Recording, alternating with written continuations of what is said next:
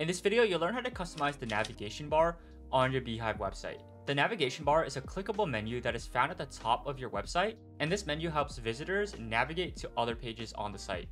Let's get straight into it. First, log into your beehiiv account and go to Design and Website Builder, and then click on Layout in the top left of your screen. From here, click on Global Navigation Layout, and here you can see the custom pages you've previously created and something called Navigation Menu Groups. Navigation menu groups are how pages are grouped in your navigation bar. For example, if you click on Add Menu Item, you can create a new menu group. And now you can add different pages to this menu group. To add different pages to this group, simply click on the three dots next to a page you've previously created and click Move To. And now select the navigation group you want to move it to.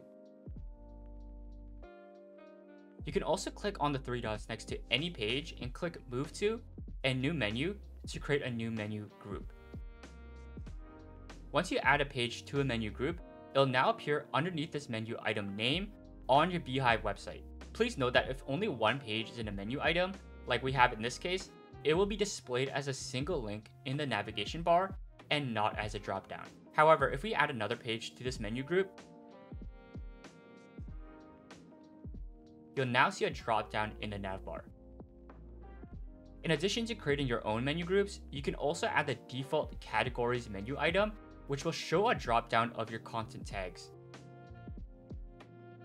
If you don't know what content tags are, they're basically a way you can assign tags to posts so that you can categorize them for readers. You can do this by creating a content tag in the post tab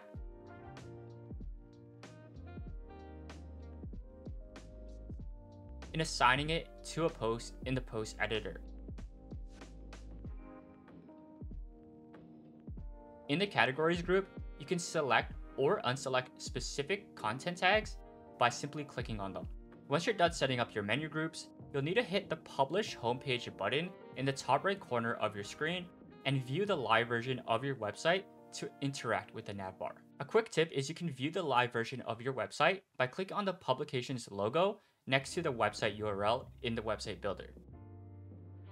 In your navbar, you have the option to link to both internal and external pages. So far, we've only linked to internal pages, or pages that we've created using beehiiv. If you want to link to another website, you can also add something called external pages or external links. To link to an external website, click on Add Page under Draft Pages and click on External Link. From here, you can enter the page name and link and you can also add it directly to any menu group.